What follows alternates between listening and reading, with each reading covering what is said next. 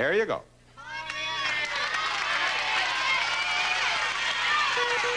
Oh, Annie. My goodness. Annie, I tell you, everything's happening today. Yvonne set the pace for this whole